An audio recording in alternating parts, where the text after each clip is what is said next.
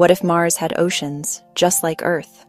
Imagine standing on a Martian beach, watching copper red sands fade into a sparkling blue horizon. Sounds wild, right? Let's dive in. Mars actually did have oceans billions of years ago.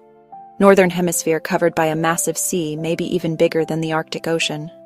Then Mars lost its atmosphere, the water vanished, now it's dry and dusty.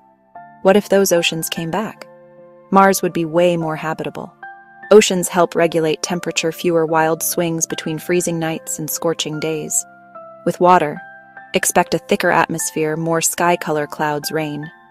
Rivers snake across valleys, carving landscapes like the Grand Canyon. Where there's water, life has a chance.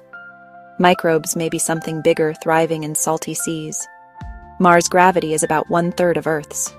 Imagine surfing low gravity waves, huge slow motion swells. Mars is still super cold and bombarded by radiation. But oceans give a real shot at terraforming, turning Mars into a second home.